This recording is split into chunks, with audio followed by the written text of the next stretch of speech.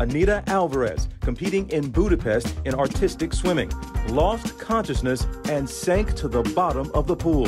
Overnight, GMA spoke exclusively to Alvarez's coach, Andrea Fuentes, who jumped in and saved her. Uh, believe uh, believe until, I until I reached her, her um, underwater. You can see Fuentes dragging Alvarez to the surface, where the swimmer initially wasn't breathing. Another swimmer who was preparing to compete jumped in and helped Fuentes pull Alvarez to the surface. I know the sport. sport when, when, when, when you finish a choreography, you really want to breathe because, because you hold your breath for a long time, and the first thing you want to do is breathe, no? and, because, because you're, done, done, and I, and thought, I thought she was going down, down so, so I was like, I immediately knew that something was happening, so I went as fast as I could, and then I reached her and brought her to the surface and tried to calm her down and make her breathe. Fuentes began administering CPR until medics and the team doctor were able to take over. The pressure was fine, pressure was fine, oxygen, glucose, everything was good, so I knew she was okay. There's a way to press her nail, and this creates, it's very painful, but it creates adrenaline for you to wake up.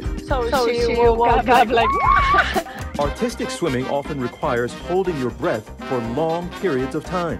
The, the sport is extremely hard. Sometimes people um, pass out, athletes pass out because our job is to discover our limits. No, that's that's what we do as, as athletes